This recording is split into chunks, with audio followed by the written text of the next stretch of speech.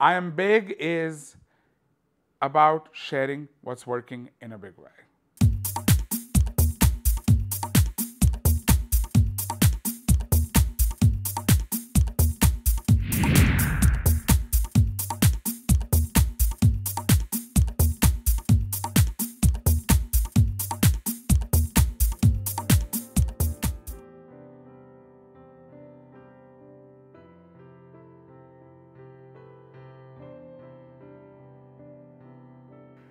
Our guest today strongly believes in connecting with and learning from the elderly.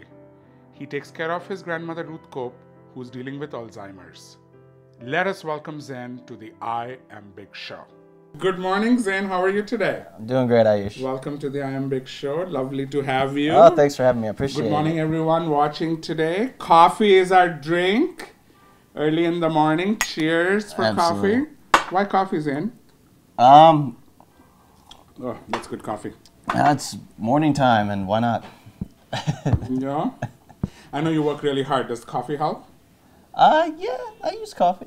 You're a pharmacist, right? Yes, I'm a pharmacist, so uh, just uh, getting going in the morning, get the blood going, wake up. That's good. You know, I've, I've always been amazed with how loyal and how hardworking and what a wonderful person you are. Really excited to have you on our show today. I appreciate it. Happy to Um, be here. The thank you. The um, there's a lot of things and a lot of qualities I really admire about you, Mm-hmm. but there is something which I think, including myself and a lot of people, really admire about you, is how close you are to your grandmother. And and I think that for every viewer watching, it'll be very amazing for us to hear today, is what's the impact your grandmother had in your life. And, and, and, and I know that she lives with you today, so we really want to talk about that. So tell us about your grandmother. Okay. Um, well, my grandmother is, uh, um, she lives with us. Uh, she came up from uh, Kansas, where she was living, and, uh, and when we found out that uh, she was starting to have um, a decline with her uh, medical term cognitive abilities, uh, basically um, she was suffering from memory loss and she wasn't able to take care of herself anymore. So we moved her from Kansas up to where we live in Orland Park and uh, she's been living with us for probably four years now, and we just uh, keep her and uh, help her get through the day. Uh, she's uh, she suffers from um, Alzheimer's, but uh, she's essentially able to still do basic caring of herself, so she can eat, she can, you know, dress herself, all those kind of things.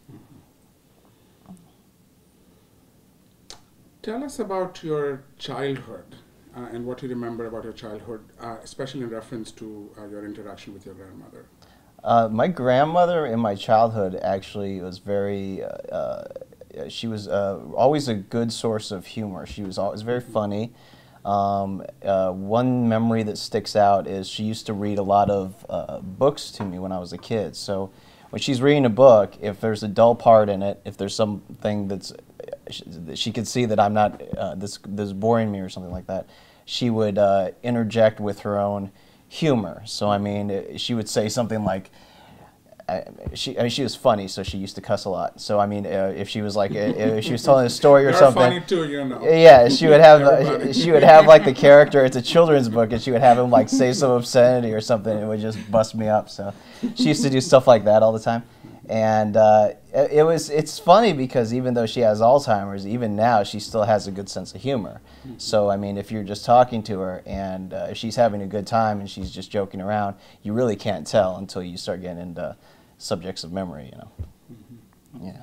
And grandmother's name is, Uh, my grandma's name is Ruth. and she's, you said, from Kansas originally. Yeah, she's from Kansas originally. That's great. And um, so now that she lives with you, um, how is that experience? Um, it's it's a good experience. I mean, uh, we have the room, uh, so she's able to. Uh, I mean, she has her own room, so that's comfortable for her.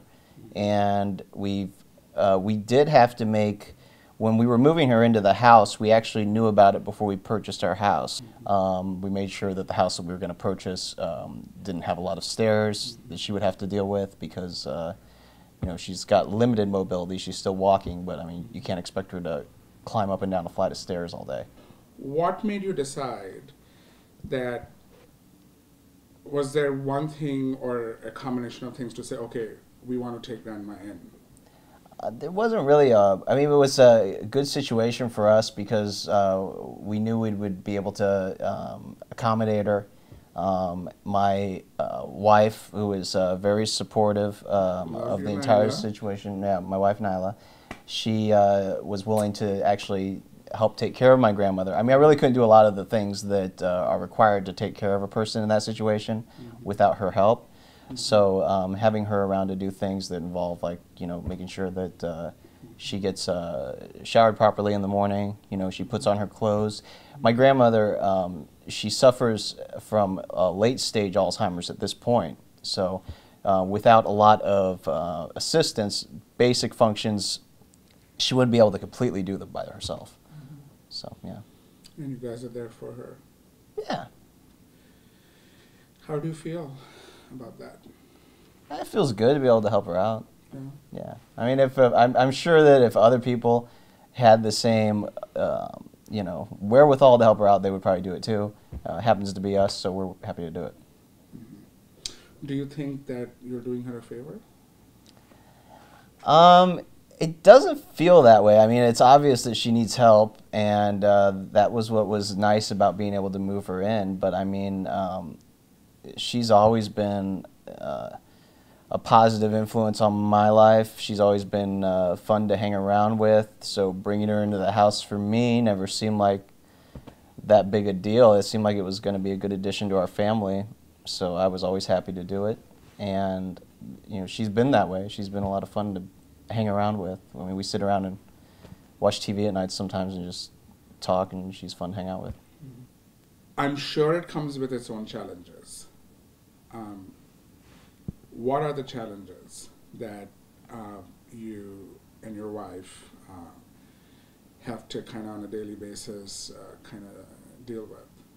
Uh, well, one thing that I think is characteristic of people with Alzheimer's disease um, that you probably have to be prepared to encounter is that at some point they may forget, well, they will forget their surroundings.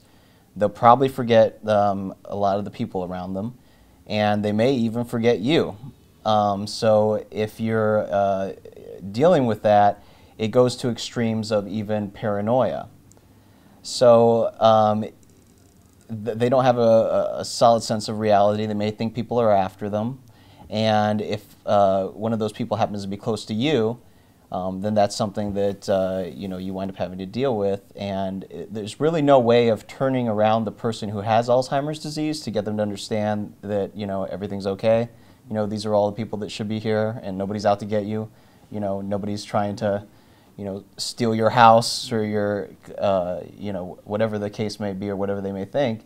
And uh, but for people who um, encounter that, it might be difficult to deal with. My grandma and, uh, um, and my relationship with my grandma has always been that she's she and I have always gotten along, and she's never really had those delusions about me yet. Uh, she does need somebody there with her all the time. And it's not a burden for you. No, it's, I wouldn't look at it as a burden. I That's- mean, that's great. Yeah, I mean, if you had a child, and uh, I mean, she's not a child. I give her the full respect of an adult, but I mean, she's in terms of being able to take care of herself. She has the same limitations as a child, and you would never think that, that of that child. You know. Um, you know, I think that it's it's uh, it's it's it's really nice that you know grandma's with you. Um, but even for any of our viewers watching today, I think I think what I take from this experience is that we got to take care of our, elder, our elderly in some shape or form. We just can't ignore them. Sure. And and you obviously have taken a, a stand of bringing grandmother in and and and kind of um, you know being a huge part of her life. Right. But there are different ways of doing that by, by you know, they are in an assisted living scenario or they are in a different situation, living situation, to still go visit, do things, connect with them, make them part of your life. Um, what would you like to share with our viewers today about that? Um, well, I mean, I think, uh, well, one thing I'll say about people who suffer with Alzheimer's disease is uh, one thing that you want to keep in mind um, is it's an irreversible process. So there's dementia, which anyone who lives long enough may be lucky enough to encounter. It's basically your brain dying, and that a lot what goes along with that is uh, you know memory loss and that kind of thing. Um, basic uh, old age memory loss that you would expect anyone to encounter. Um, Alzheimer's is a very specific disease, and um, it has to do with uh, plaques that form in the brain. So there's an actual uh, process, a biochemical process that occurs uh, that makes that a disease. And for people who suffer from Alzheimer's disease, there's not a lot of treatment. Um, the treatment options don't stop the disease. Uh, uh, what they can do is improve the person's cognitive ability, ability to think and do things, um, and it can help to slow down the uh, progress of the disease, but it can't stop it. It can't reverse anything that's been done. So, since there's really no um, medicine that's available to um, really do that much, all of the support and treatment comes from people who are willing to help. So, uh, and in addition to that, into um, treatment and into research into the disease so that you can learn more about it. Uh, we can learn more about it and then learn uh, better ways of treating it. Mm-hmm. Old, older people, in particular, um, in certain situations, probably need more help than most people are aware of. And uh, usually, if you're able to do anything to help out, um, you usually would expect people's families to be able to provide some sort of help. But some people don't have um, very strong family structures, so you you would expect other people to be able to help out. Yeah. Do you think it's cultural uh, a little bit? Um, I don't know. I, I see a lot of people who take care of uh, their older family members in, uh, you know, all different areas. So I don't necessarily think it's cultural. I think here it's easy to get busy um, in, in the United States. Yeah, yeah. I, I, think it's easy to get busy and forget about a lot of things. Mm-hmm. And one of the things that seems to fall by the wayside, I think, is uh, care for fa- certain family members and certainly um, older family members, because if there's more generational gaps, um, people may not uh, be as familiar with them in the family, and they may actually uh, be able to, I don't know, forget about them more often. Are you happy with the decision you made to take grandmother in, and and and is this something which is really enriching your life, or are you doing it because it's your duty, and you got to do it?